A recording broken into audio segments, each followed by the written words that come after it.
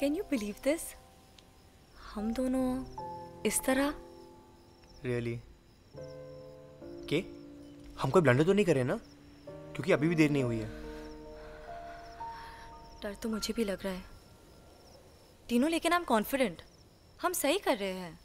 हमारी लाइफ है हम डिसाइड करेंगे। A T H dot com और जब डिसीज़न हो ही चुका है तो उसका रिवॉर्ड भी मिलना चाहिए। मेहनत का मीठा फल। आई एम स्टिंकिंग सर से पैर तक धूल मिट्टी है। आई लव इट आजा साफ़ कर दूँ? ओहो चीप बिहेवियर चलो बाहर जाकर जेरी का बेड बना दो। ये लो।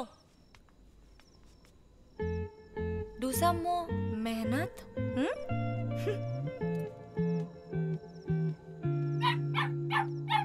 का प्यासा नंग।